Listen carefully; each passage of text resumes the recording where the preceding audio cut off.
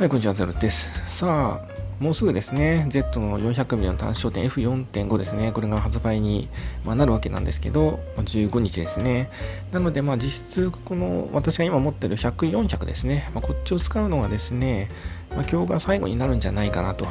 いうところで、まあ、取り納めみたいな感じでですね、今日も持って出かけてきました。はい。で、まあ、今日はね、ちょっと雨上がりということもあってですね、えー、あまり天気が良くなく、鳥もあまりいないというところで、まあ、比較的早々にですね MC の 105mm に変えて、えー、撮影をしてたわけなんですけど、まあ、それでも100、400少し使ったのでね、まあ、その辺を踏まえて、まあ、総括じゃないですけど、話をしていこうかなと思います。はい。もう、やっぱりこの100、400ってレンズはやっぱ素晴らしいなというところは、まあ、改めて感じたところですね。はい。この焦点距離 100mm から 400mm このどのレンジを使っても非常に高い描写力を出してくれるというのはさすが Z のレンズだし S ラインのレンズだなというところは、ま実感できるところですね。でなおかつ私の場合は今1.4倍テレコンねこれつけて撮影したりしてますので、まあ、そういったところね踏まえてもですね、えー、非常にこの画質の落ち込みっていうのがあまり感じられないっていうのは1.4倍テレコンのこの光学性能の高さと100400の持ってるこの元々の性能ですねこの描写力の高さですねここの部分がもう相まってですね非常にこの高い描写力のままテレコン使ってもまあ維持してくれるというところは、まあ、やっぱすごいなと思いますね。なので、ま、400mm のね F4.5 の単焦点の方が金曜日発売になりますけどこれを使った時に今の100、400のね落ち込む具合とどれぐらい違うのかっていうねどこまで高いレベルを保ってくれるのかっていうのはまた非常に気になるところですよね。はい。てかまあ期待したいところではありますよね。はい。あと F 値がね当然明るくなるっていうところもあるので当然 ISO もその分下げられるので、えー、そのノイズ感の部分も、ま、有利にはなると思うのでどんどんこう、まあ、いい方にはまあ、私的に転んでくれるっていうのは、ま、期待できるところなので、非常に楽しみにしてる感じですね。はい。で、今日ちょっと試してみて、驚いたというかね、えー、びっくりしたのが、あの、400で、なおかつ1.4倍テレコン入れて、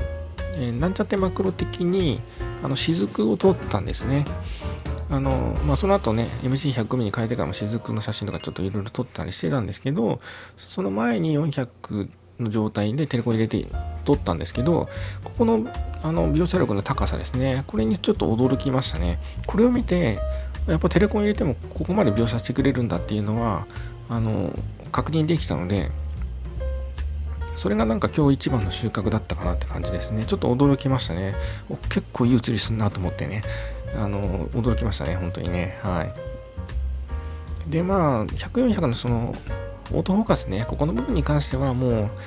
えー、私が使ってるね、ボディがどうしても初代の Z7 っていうところがあるので、100、400のこのね、フォーカスのこの性能っていうのは、まあ、フルに活かせては当然ないとは思うので、なんかな、やっぱり不満が残るっていう感じでしたね。これはもうレンズというよりかはボディ側の問題なので、えー、ね、100、400に罪はないんですけど、やっぱりこのボディ側、Z9 に続くこの新しいね、えー、その性能を持った高画素機ですよね。まあ、これを早く発売してほしいなというのはちょっと私が思うところですね。どうしてもですね、Z7 でやってるとですね、ちょっと離れてるちっちゃい鳥ですよね。これにあのフォーカス合わせに行くっていうのが結構難しくてですね、鳥の体に合わせに行く分には比較的合ってくれるんですけど、鳥の頭とか目の部分ですね。ここに合わせ込みに行こうとするとやっぱダメなんですよね。で何て言ったらいいのかな。あの真ん中のフォーカスのところに十字ありますよね。十字のクロスの中心点ですよね。中心点にえっ、と目を持ってってってやってもですねやっぱり来ないんですよね。微妙にちょっとずれるんですよね。でなんでかなと思ってずっとやってたんですけどあの真ん中に四角のフォーカスの枠がありますよね。であの枠の中に、えーと、鳥のその例えば頭なら目を含んだ頭の部分が全部入ってないとですねやっぱちょっと後ろに抜けたりするんですよね。ちょっとその頭の部分だけじゃなくって例えばこのねこの四角がフォーカスの枠だとしてですよもうちょっと長方形ですけどこの例えば目に目を中心に持っていきます。で頭の部分が例えばこういう感じでちょっと見切れてる感じがこうね完全にはまってなくてちょっとこう背景が見えてるみたいな部分があったりするともうなんかねそっち側にちょっと引っ張られちゃうんですよね。で実際鳥のその頭とか目の部分からちょっとずれるんですよね。でピントがちょっと合ってないみたいな症状症状って言っちゃったらあれですけど現象がですねあの非常に多いんですよね。でよくよく見ると例えば今回ちょっと絵差し込んでるかもしれないですけど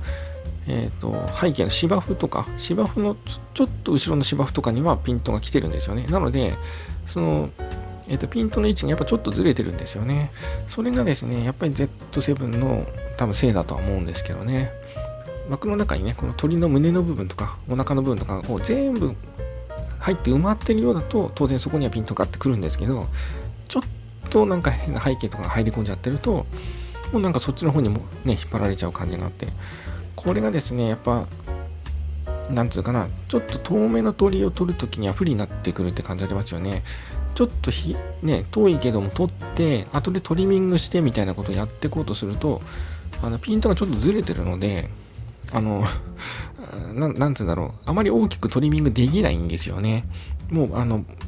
ピンずれ、ピントがずれてるのが分かってきちゃうので、遠目に見てる分には大体来てんのかなみたいな感じなんですけど、やっぱりね、当倍とかで見てみるとやっぱちょっとずれてたりするんで、これがですね、やっぱ Z7 の限界なのかなっていう感じですよね。うん。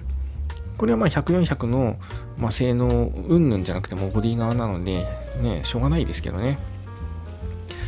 これがね、まあ当然 Z9 みたいなね、えフラッグシップ使えば当然100、400の性能はね、フルに活かせると思うし、今後出てくるね、えー、機種にね、鳥瞳 AF とかついてれば、当然それもね、生きてくることだとは思うんですけど、まあ、現状のね、Z9 以外の機種かな、に関しては、おそらく100、400のこのフォーカス性能ですね、ここに関してはまあ、最大限引き出すっていうのは、まあ、難しいんじゃないかなとは思いますけどね。はい、ただ、描写力に関しては十分味わうことができるので、ピントがバジッとくればね、はい、その部分に関しては、まあ、非常に満足できるレンズじゃないかなと思いますけどね。うん。あとは 400mm 単焦点ね、F4.5 が来た時に、えどれくらいの描写力になるかっていうのは楽しみですね。まあ、100、400でもね、これだけのあの描写力を、ね、出してくれるっていうのは非常にこう実感できたところなので、単焦点になった時にどうなのかって、ね、非常に気になりますね。はい。非常に楽しみにしてます。はい。ということで、もう以前にも言ってますけども、100、400っていうこのレンジね、まあ、このレンジをね、比較的多く使って撮影するということであればですね、400の単焦点よりかは100、400を選ぶっていう方が、まあ、使い勝手的に良くなるっていう可能性は当然高くなるので、その辺もね、踏まえた上で、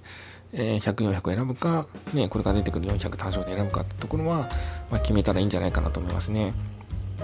まあ、ズームレンズだからといって、